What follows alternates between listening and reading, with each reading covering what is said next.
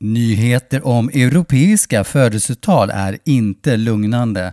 Födelsetalen i Italien är på väg mot en ny rekordlåg nivå i år. Nya uppgifter från nationella statistikmyndigheten pekar på en fördjupning av landets långvariga demografiska kris. Under 2022 som helhet minskade antalet födslar till 393 000, den lägsta siffran sedan landet enades 1861. Storbritannien står inför en liknande situation enligt uppgifter från Office for National Statistics, ONS, har antalet födslar i England och Wales sjunkit till den lägsta nivån på två decennier. 2022 minskade antalet födslar med nästan 20 000 från året innan.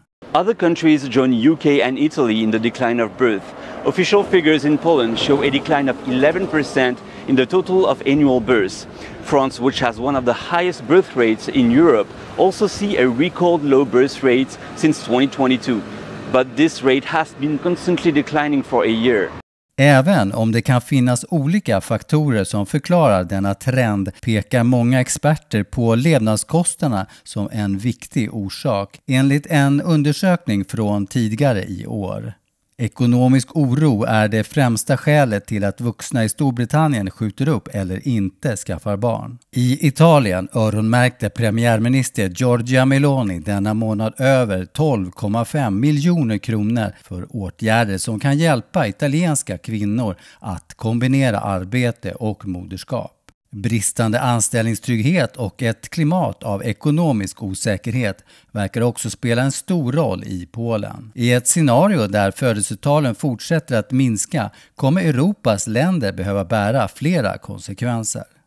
En av dessa är minskningen av den inhemska befolkningen, ibland till förmån för en befolkning som kommer från utlandet. Detta skulle vara fallet i Frankrike och Storbritannien. I England och Wales var enligt Office for National Statistics nästan en tredjedel av alla födslar från utländska mödrar förra året. En ökning från 29 procent år 2021.